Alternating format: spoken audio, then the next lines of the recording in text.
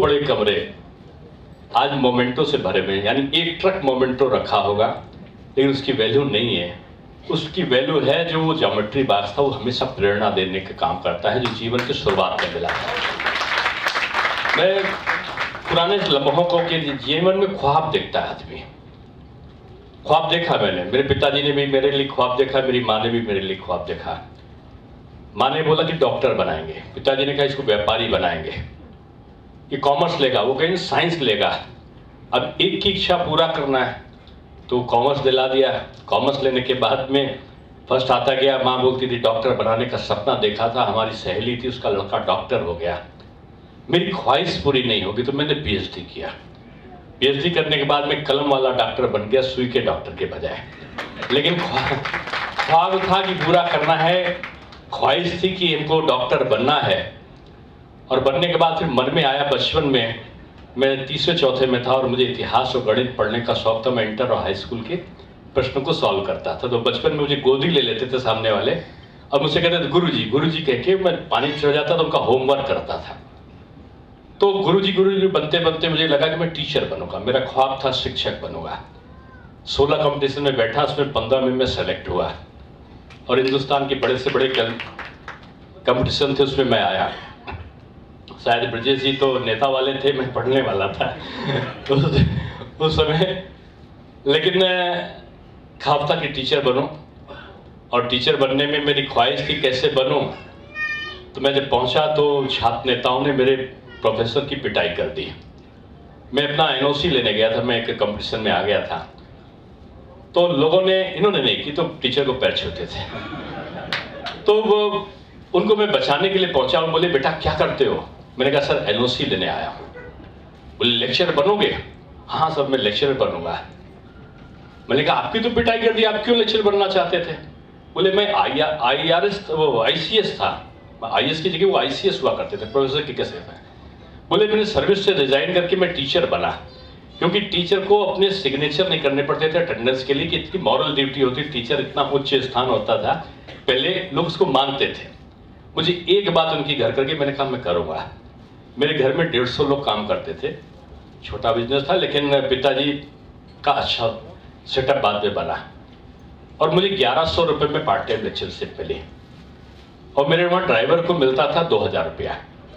तो मेरे पिताजी ने कहा कि दो जमील तुमको कितना मिलता है? बोला, पंडित जी, दो हज़ार मिलता है। मेरा बेटा ग्यारह सौ पाता है। लेकिन मेरे मन में ख्वाहिश थी कि मैं टीचर बनूँगा। और मैं पार्ट टाइम लेक्चर से लेक्चरर लेक्चर से रीडर रीडर से प्रोफेसर प्रोफेसर से आगे बढ़ते बढ़ते तमाम मुकामों को प्राप्त करने में मेरी ख्वाहिशें पूरी हुई। मैं जो कहना चाहता था कि आदरणीय माता जी ने जिन ख्वाहिशों की बात करी, उस पुस्तक का मैंने, हालाँकि पुस्तक का केवल आवरण देखा है, क्योंकि मैंने भी छह पुस्तकें लिखी हैं। और मेरा सौभाग्य था कि मेरे अंडर में 20 पीएचडी 20 शोध हुए और 40 मेरे इंटरनेशनल पेपर छपे तो लिखते लिखते मुझे एक अभ्यास हुआ आपकी थीम है बच्ची को लेकर।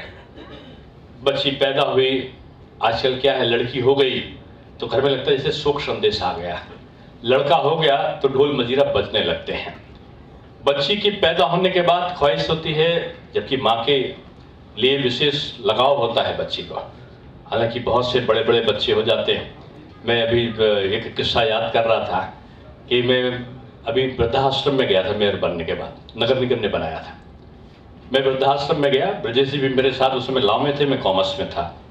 उसे एक साल साइज़ जूनियर थे। एक विद्यार्थी मेरे साथ में पढ़ता था। और वो विद्यार्थी मेरे साथ में पढ़ता था तो वो उसके पिताजी आई थे। वो चार भाई थे। और वो जब अंग्रेज़ी में उसको इंग्लिश मीडियम पढ़ाया था, मैं हिंदी मीडियम था। जब मैं हिंदी में बोलता था तो उसके पिताजी डांटते थे, ऐसे लोगों के साथ मत रहा करो, तुम्हारी अंग्रेज़ी खराब हो जाएगी। समय का बदलाव आया। और मैं जब अभी वृद्धाश्रम में गया तो वो बुज़ुर्ग व्यक्ति मुझे मेयर बनने के बाद पहुँचा तो बुज़ुर्ग व्यक्ति पति पत्नी मेरे सामने हुए मैं पहचान गया, क्योंकि बचपन में मैं कहता था, चाचा जी तो मुझे डांटते थे, अंकल कह पाओ तो कहना, नहीं तो मुझसे बात मत किया करो। मैं उनसे बोला, देखते मैंने कहा, चाचा जी? तो देखते देखते बूढ़ी आँखें, वृद्धाश्रम में रहने वाले वो व्यक्ति, भजन सुनते हुए उससे कहते बेटा, तुम दिनेश शर्मा हो क्या? मैं दिनेश हूँ। अब वाला, अंकल नहीं कहा, आपको नाराज़ तो बेटा नहीं, अंकल ने कहा अच्छा किया तुमने। मैंने कहा, ऐसा क्यों बोला आपने? और आप यहाँ पर क्या कर रहे हो? आपके तो चार बेटे हैं। तब तक वो पिता चुप हो गए। माँ बोली, बेटा, पहला वाला जो बड़ा वाला था ना, वो कैलिफ़ोर्निया में है। मेरे दूसरा क्या करता है? वो बेटा न्यूयॉर्क में है। तीसरा क्या करता है? बेटा, वो तो इंजीनियर बन के कर्नाटका में है। चौथा बेटा भाई माता जी क्या करता है? वो बेटा, वो गोमती नगर में रहता है। मैंने कहा, चार बेटे हैं और आप वृद्धाश्रम में रहते हो। फिर दोनों पति पत्नी चुप हो गए। लेकिन माँ से नहीं रहा गया बोला, नहीं, ऐसी बात नहीं है बेटा। अभी तीन दिन पहले क्यों जी? बताते क्यों नहीं हो? तीन दिन पहले तो मेरे छोटे बेटे का कर्नाटका से फ़ोन आया था बंगलौर से। बोल रहा था, मम्मी, सिर में दर्द हो रहा हो तो ये मुझसे पुलिया से डॉक्टर नर्सिंग की दवा ले लेना। ठीक हो जाओगे? अभी तीन दिन पहले तो बेटे ने कहा था। मेरा बेटा बहुत ख्याल रखता है मेरा। माँ बेटे को भूल नहीं पाई। बेटा माँ को भूल गया। और बेटा ने माँ और पिता जिसने उसका बोझ उतारा था, उसको लेकर उसने वृद्धाश्रम में रख दिया। आधुनिकता के परवेश पे हम उस स्थितियों को भूल गए, जिन्होंने हमें हमें पैदा किया, हमें आगे बढ़ाया। मैं उन भावों में इसलिए विलुप्त होता दिखा कि जब मैंने देखा कि मिश्रा जी अपने माता और पिता के साथ में मंचा सीन हुए। आशीर्वाद है उनका। और अगर आशीर्वाद नहीं हो तो आप बढ़ नहीं सकते हो। भगवान के बाद इस धरती पर कोई भगवान अगर है तो वो माँ और पिता है। और एक चीज़ हमेशा याद रखो, अगर आप खुद में अच्छी संतान नहीं हो तो आपकी संतान कभी अच्छी नहीं हो सकती। अच्छी संतान अगर लाना है तो खुद में अच्छी संतान बनना पड़ता है। और मैं समझता हूँ कि उस परिस्थितियों में आने का कारण उनका क्या रहा होगा, वृद्ध जो दंपत्ति थे, मैंने उनसे पूछा। तो पिता ने बड़े धीमे से कहा, बेटा, तुम कहाँ रहते हो? मैंने कहा, मैं अपनी माँ के साथ, पिता के साथ रहता हूँ। बेटा, तुमने उसमें मैंने विवाह नहीं मेरा हुआ था। बेटा, तुमने विवाह क्यों नहीं किया? मैंने कहा, मेरी माँ है, मेरे पिता है, मैं रह रहा हूँ जीवन में, समाज में काम करना चाह रहा हूँ। तब तक उनकी आँखों में आया। बोले, मैं इनसे कहती थी कि अपने संस्कार और संस्कृति मत भूलने दो बच्चे को। लेकिन ये हमेशा अंग्रेज़ी की बात करते करते थे। अंग्रेजियों में देखो जाकर क्या होता है। वहाँ बच्चा पैदा होता है तो शिशु गृह में डाल देते हैं। थोड़ा बड़ा होता है तो बोर्डिंग में डाल देते हैं। और जब बच्चा पढ़कर आकर शादी कर देता है तो अपने माता पिता को वृद्धाश्रम में डाल देता है। ये पाश्चात्य संस्कृत है जो जो व्यापार है। व्यापार में सब कुछ बिजका हुआ है। तो जो भारत की संस्कृत है, वो परिवार है, जहाँ सब कुछ एक दूसरे के लिए। तो ये परिवार की संस्कृति में जो जन्म लेता है, उसके ख्वाब भी पूरे होते हैं, उसकी ख्वाहिशें भी पूरी होती है। और मैंने समझा कि जो आपने बच्ची को लेकर किया है, लड़की पैदा हुई, शादी की, उसकी शिक्षा की समाज में किस तरह जाएगी, घर ठीक के लौट कर आएगी कि नहीं आएगी? आएगी तो कहीं कुछ समाज में उसको कुछ कोई कहेगा तो नहीं। आएगी अगर उसको, मैं नहीं रही तो मेरे बाद में लड़के जो भाई हैं उसको ठीक से देखेंगे कि नहीं देखेंगे? कहीं भाभियाँ उसको अलग तो नहीं कर देंगी? ये तमाम चिंताओं में माता पिता पैदा होते ही बच्ची की बड़े होने से लेकर अंत तो गत्वा जब तक वो अपने ससुराल में नहीं चली जाती, तब तक उसकी चिंता में विलुप्त भाव से रहते हैं। और मैंने जो पूरा आवरण का जो मुख्य पृष्ठ देखा है, वो इन्हीं सारे संदर्भों के इर्द गिर्द घूमता है। और आखिर में जब हम अपने गंतव्य पहुँचते हैं तो पता चलता है कि वो सुखी परिवार में विलीन हो गई अपने साथ में। अभी एक अच्छे संस्कारों में वो रहने लगी। जो भारत का संस्कार होता है ना, भारतीय परिवेश होता है, उसमें मिलजुल कर रहने की व्यवस्थाएँ होती हैं। क्या होता है, जैसे मैं कभी कभी हंसकर बोलता हूँ कि जो पश्चिम की संस्कृति में जीते हैं, उनके परिवार में बिखराव होता है। क्योंकि जो जन्मा है, वो कमाएगा, जो कमाएगा, वो खाएगा। ये पश्चिम की संस्कृति बोलती है। हमारे जो भारतीय संस्कृति है, इसको हम हिंदू संस्कृति भी कभी कभी बोल देते हैं। जिसमें कि जो जन्मा है, वो कमाएगा, जो कमाएगा, वो खिलाएगा।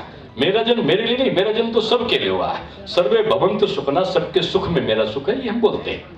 तो आज पुस्तक के विमोचन के माध्यम से यहाँ पर आए और मुझे तो हालाँकि आप लोग तो कलाकारों को सुनने के लिए बैठे होंगे कि फ़िल्म के हीरो अच्छा सा गाना गाएँगे अच्छे अच्छे गीतकार के गीत सुनेंगे, और मैं अपना बयान करने लगा। लेकिन मुझे अच्छा लगा जब, कभी मैं देख रहा था, यहाँ पे खड़ा था, आप, शायद वो फोटोग्राफर चले गए। ऐसी जीन्स पहने थे, लेकिन उसमें वो फुल जीन्स हाफ़ दिखाई पड़ रही थी। कई जगह से फटी हुई थी, पहले क्या होता था मुझे ध्यान दे आया अच्छा लगा। इनको देखकर भी शायद पीछे होंगे। क्या मुझे ध्यान आ रहा था कि बचपन में बचपन में अम्मा मुझे बहुत प्यार करती थी कि बेटा, स्कूटर का स्कूटर नहीं, मैं साइकिल से जाऊँगा। जब तक मैं अपने कमाने नहीं लगूँगा, तब तक मैं स्कूटर कार नहीं चलूँगा। तो मैं स्कूटर जुबली कॉलेज में पढ़ता था, जा रहा था साइकिल से। चलते चलते मेरी पैंट फट गई। वो घर पे आई, बहुत ज़्यादा अच्छी स्थिति नहीं थी उस समय शुरुआत की। मैं छठे सातवीं की बात बता रहा तो पैंट फट गई, पिताजी से बोले कि इसके लिए नई लेकर आना, नई पैंट चाहिए। पिताजी ने कहा वो मेरी माँ को बहुत साहब बोलते थे, बहुत साहब सिम लो, सिल लो इसको। अब मेरी माँ ज़ोर ज़ोर से रोने लगी। बोली, आज ये समय आ गया कि मेरा बेटा फटी पैंट पहनेगा, नहीं चल सकता। मैं फिर भी मेयर बनने के बाद में अभी गया एक दोस्त के घर में, उन्होंने बुलाया मुझे, बच्चे की सालगिरह थी। मैं पहुँचा उनके वहाँ। तो बाहर निकलने के बाद में पहली बार तो उसने मुझे ताका उनका, बेटा, बड़े जल्दी आओ, बेटा रोता हुआ, आँसू पोसता हुआ निकल कर आया